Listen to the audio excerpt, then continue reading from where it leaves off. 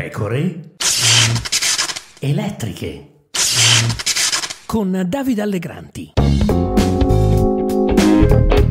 Benvenuti, benvenuti, qui Davide Allegranti, nuova puntata delle pecore elettriche. Il decreto rilancio è un decreto legge d'urgenza del governo. Cosa c'è di così urgente da scavalcare il Parlamento nel bonus monopattini, nella lievitazione delle poltrone delle società pubbliche e nella sanatoria dei clandestini?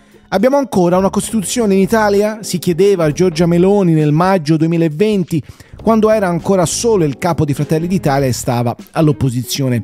Poi qualcosa è cambiato, Meloni è diventata Presidente del Consiglio e improvvisamente tutte le cattive pratiche del passato, compresa quella dei cosiddetti decreti omnibus, sono state rivalutate dalla maggioranza di destra-centro, al punto tale però che nei giorni scorsi il Presidente della Repubblica Sergio Mattarella si è comprensibilmente allarmato e ha convocato i Presidenti di Camera e Senato, Lorenzo Fontana e Ignazio La Ruzza, per invitarli a vigilare e a evitare lo svilimento del Parlamento. Negli ultimi anni il numero di leggi ordinarie approvate si è drasticamente ridotto, scrive Open Policy in un suo recente dossier. Il rovescio della medaglia è stato un significativo aumento nel ricorso alla decretazione d'urgenza, non solo per fronteggiare situazioni di emergenza, ma anche per implementare il programma di governo, una dinamica che ha caratterizzato tutti gli esecutivi che si sono succeduti alla guida del paese, ma che si è consolidata in particolar modo con l'esplosione della pandemia.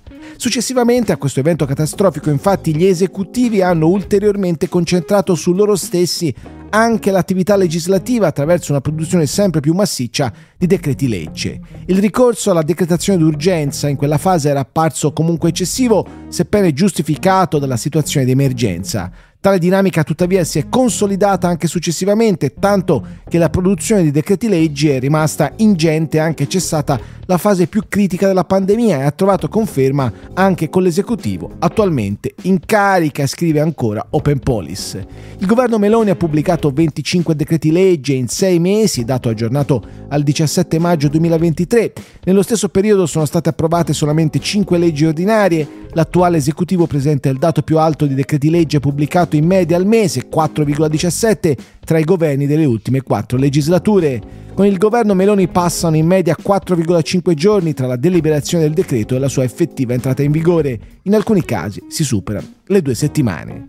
Le situazioni emergenziali da gestire non sono mancate in questi primi mesi della nuova legislatura, nota ancora Open Police. Tuttavia, occorre rilevare anche che in molti casi si è scelto di legiferare con decreto anche per provvedimenti di natura più politica. È il caso, solo per fare alcuni esempi, del decreto legge contenente le misure in tema di lavoro, di quello per il riavvio della progettazione per la costruzione del ponte sullo stretto di Messina. Interventi che non hanno una natura emergenziale in senso stretto e che quindi avrebbero potuto essere approvati attraverso il ricorso all'iter iter legislativo ordinario. Tale scelta, scrive Open Police, conferma la volontà dell'esecutivo di cercare di far approvare i provvedimenti così come delineati nell'ambito del Consiglio dei Ministri, limitando il più possibile i momenti di confronto sia dentro che fuori dal Parlamento.